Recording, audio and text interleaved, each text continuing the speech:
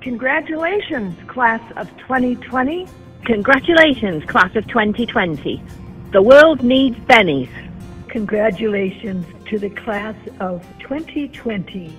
This is a unique graduation for you, but I hope it stays in your heart.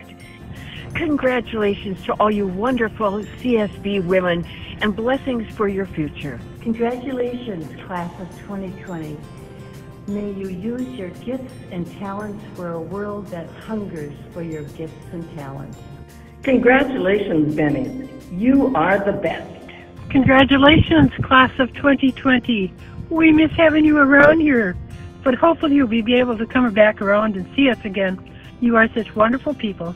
Congratulations, you special, special seniors who have experienced uh, something that no other graduate class has ever, and you've done it with a plume, with your courage.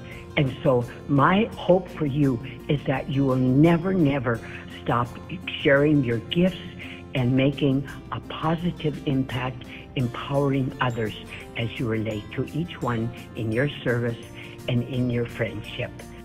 Your Benedictine sisters wish you blessings as you graduate and take the Benedictine values into our world. Congratulations to all of you 2020 graduates.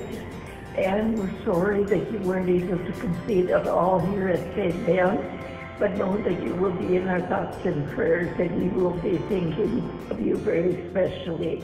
Congratulations, class of 2020. We're thinking about you and praying for you. Congratulations on this great and important day in your life. I hope it's the beginning of a lifetime of many blessings from our God and many blessings for your family as well. Congratulations to all of you, you wonderful Bennies, Blazers, St. Ben's, the class of 2020. Congratulations, and may you experience the light of God's presence. Congratulations. Go out and spread the good news. Dear CSB and SJU graduates, I am so proud of you, and I hope that this next year will bring many wonderful things for you to do, to be, and to become. I'm Professor Kennedy from the Department of Theology.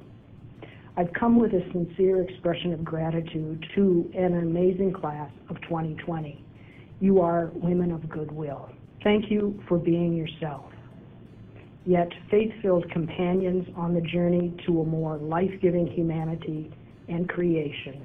Thank you for gracing our College of St. Benedict community and my monastic community with your presence, accomplishments, sorrows, joys, prayers, and varied gifts.